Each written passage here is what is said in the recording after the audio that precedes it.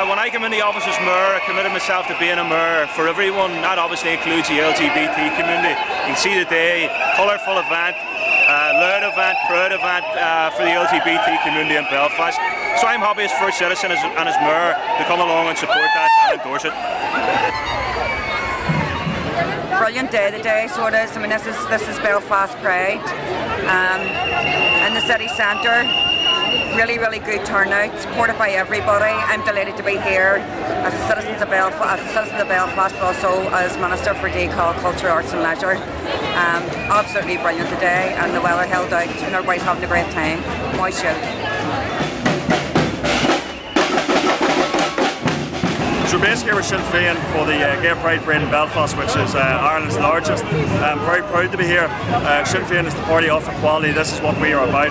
Our central philosophy is Green in Ireland based on uh, equal rights. And it's sad to say that in 21st century Ireland people still have to march on the streets uh, for basic human rights that are being denied. But Sinn Féin will always march with people on the streets if they have to and if they need those rights which are currently being denied to them.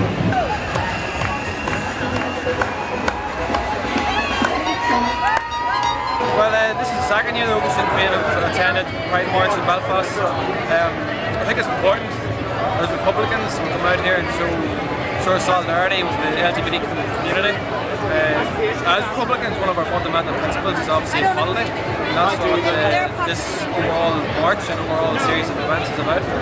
And it's will hopefully get uh, more numbers next year and more young people uh, to come along.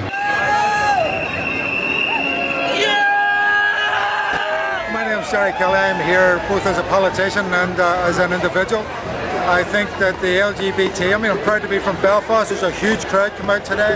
It's great to see those crowds uh, getting bigger and bigger. And what we're saying to the LGBT community is you're not alone, that uh, people are here to support you that equality means equality across the board. It's not just about nationalists and Republicans and uh, loyalists and unionists and not Catholic and Protestants. It's not just religion. It's not just race or gender. It's everybody we should get to the day where you don't really have to have uh, talk about an LGBT sector, that is just accepted as another member of our society. I was up there with my girlfriend.